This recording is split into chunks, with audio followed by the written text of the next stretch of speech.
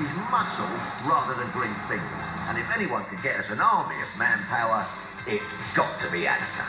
One of the guys at the farm was saying that there's actually a territorial army base very near to Norton, which is where our home is. So we thought we might just pop in. Hi guys, who are you? Meet you, yes. My name's uh, Ed Coppin. I'm the OC of 106 uh, Field Squadron here. Okay, well you look perfect for my job. We're looking for some really strong guys because we've got about three tons of shingle, of pebbles Right, to, to shift. Would you be Yeah. able to do that? Absolutely, yeah. no Really brilliant. You, you're, these are the guys who, wherever they are, they can just put up a bridge overnight. In fact, why aren't you doing our whole project? So great. They are brilliant, the TA, and if they're on board, I, I feel very confident about this project now.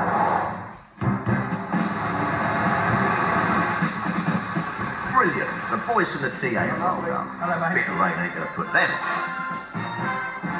The first thing that, that I'd like to get you to do would be to top dress all of these paths as we go through.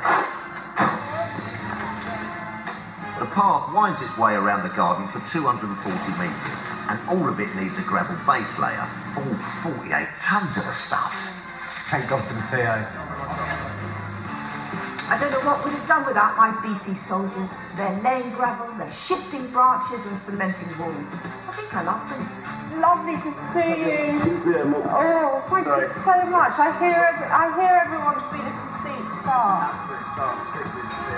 The TA guys, didn't I say we've some good guys? You've got to be paying him to say that, honest. It's got to do something for the community tonight, and some of the residents, no doubt, perhaps got no one at all apart from the staff and people, and, and uh, just maybe if you see just one of the residents with a smile on their face, it really sort of, I don't know, almost bring a tear to the eye sort of thing if you look at that sort of way. And it'll bring a tear to my eye if we don't finish it. We're nearly halfway through and we've still got to turn this sodden Sheffield soil into a sunny seaside garden. So this is going to be um, like a beach hut for our seaside area, which will be fun. Did you ever go to the seaside with your granddad? Yeah, it used to take me all the time. Where Where'd you go? Ducks. And then Oh. we used to have fish and chips before we came home. Oh, I'm just so hoping, Genevieve, that this seaside area it works as a, as a trigger. Do you think your granddad will Yeah, enjoy it? I think it'll bring back memories of like as a, me, my grandma, and my granddad going to the beach when I was little. And I think, you know, if you like taking pictures of us at the beach, his face, sort- he sort of smiles as much as he can and kind of looks at you as if to say, yeah, I, I remember being there. Yeah. I remember us being there together. And it kind of eats you up because you know that you'll never get them time again. But mm. if this works and this gives the same joy, then all for it, do it to me. I can't believe how strong Genevieve has been. Dementia can have such devastating effects on families, and it seems to affect so many of us now. Well, my father-in-law had Alzheimer's, and um, you know he he loved music. He loved. Yeah. He loved being in outdoors in, the- in a garden, and he loved uh, having kids around him. You know, it just it, he just lit up. Everyone has a memory of a garden. Yeah. Everyone's been in a field. Everyone's picked a buttercup. Yeah, yeah. Everyone's smiling And- a lavender, whatever it is, it's that And with connection. dementia, you just suddenly see in people's faces, you just get this flicker of recognition. And if we pull this off, that's exactly what this garden will bring.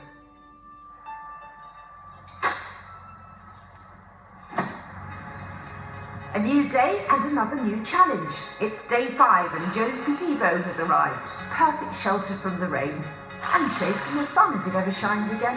I think that Keith will love it. Only takes a few hours to put up. It's now more than halfway through and we still haven't got all that gravel laid. Luckily, friends and family are here to muck in and get the base layer spread over those paths. You can see the people that have come that have turned up. Everybody wants to be a part of this because it's so worthwhile what we're doing. Dawn, whose 70 year old husband Frank has been at the home for three years, isn't holding back either. I'm doing this for my Frank to give him somewhere where he can go and he can be outside and he can be free and walk about and I haven't got to worry about him getting knocked down or getting hurt and he'll love it. Being outside, it'll be fantastic, brilliant. For Dawn, this project is more than just a garden, it's a way for her to reconnect with her husband of 37 years, and I'm keen to meet him. Where are we heading? on this setting, I'm going there. How do you feel when you're with Frank, knowing that he might recognise you or just might have a feeling or there might be no response at all? How does that affect you? It upsets, it upsets me a lot. Yeah. But I never show anything while I'm here with Frank because he is my world and he is everything. Hmm. We talk about things that to anybody else makes no sense at all. But I do think that's the fascinating thing with dementia. Yeah. You just have to learn to just go off into that parallel universe. if you go back to the 60s, mixed marriages just didn't happen. And ours did, and it's worked. In 97, I had cancer, and Frank never left my side. You don't just walk out because somebody's ill. He's still my Frank. He's still my husband.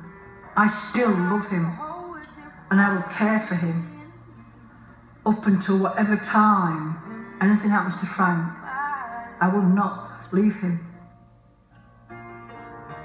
One thing I've always felt, and I feel it very strongly having met all the residents today, is that everybody should have a label on them that says eye surgeon, civil engineer, doctor, teacher, because all these people have a, a life, a history, a backstory. I can really see now that this garden is going to be really a lung for everyone, all the residents, all the families visiting, all the staff, a really special place for everyone to escape to. To make you feel my love.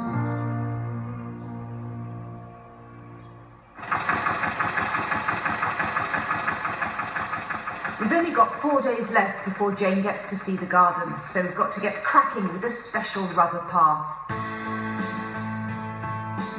Made from old tyres, it's super non-slip, but it's a tough and dirty job. And even with our specialist team, it's going to take three days to lay. That's if the heavens don't open again. Without the pathway, the residents wouldn't even be able to use this garden. So it ties all of the little elements that we've been putting in and it structures it together and, and, and makes it usable. Wow. Look at that. Can I feel it?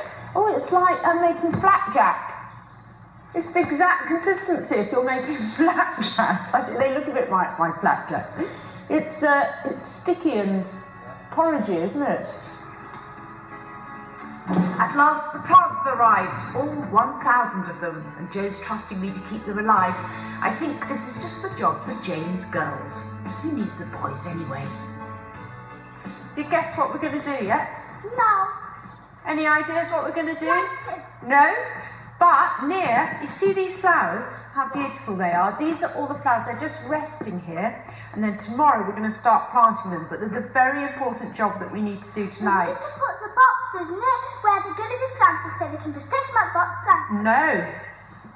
Does this does this give you a clue? Yes? Yes! How fun is that going to be? Oh! Let me do it. There you go. Give it a nice sprinkle. That's fantastic. That was like you see it. No, no, too far that way. Just that way.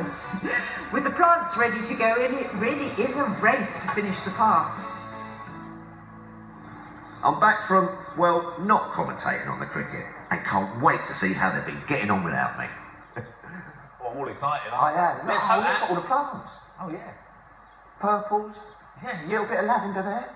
So you are turning into a gardener. I am turning a into a natural reaction, an emotional response. Yes. Oh, look.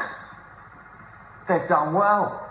Look at this. This is amazing. What, what a transformation. Bandstand or Yeah. pergola? Pergola Park up area, that is. You can call it a bandstand. If you got, I'll tell you what, how you make that bandstand. Yeah. You put a band in it. Oh, right, And then it becomes a bandstand.